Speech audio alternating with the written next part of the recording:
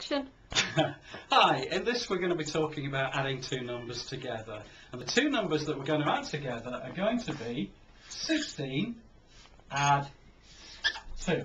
Now there's two different ways in which you can do this, but it is very important that whichever way you choose that you become really, really good at it.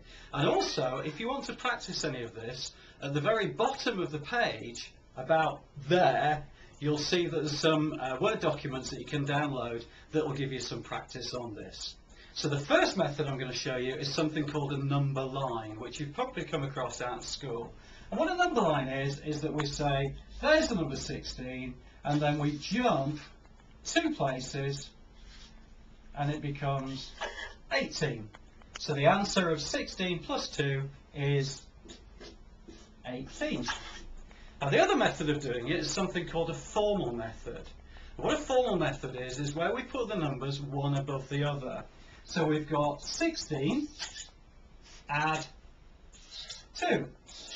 And you might have come across that in some of your schoolwork. And the way this works is that the first thing that we do is we add the units. And these are the units, 6 and 2.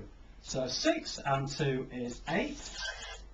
And then we add the tens, which is this column. So 1, and you've got to imagine there's nothing there. So 1 add nothing is 1. So to add 16 plus 2, you've got two methods. The first one is the number line, and the second one is the formal method. It's entirely up to you which one you choose, but try to work very hard at making sure that you know whichever method very, very well.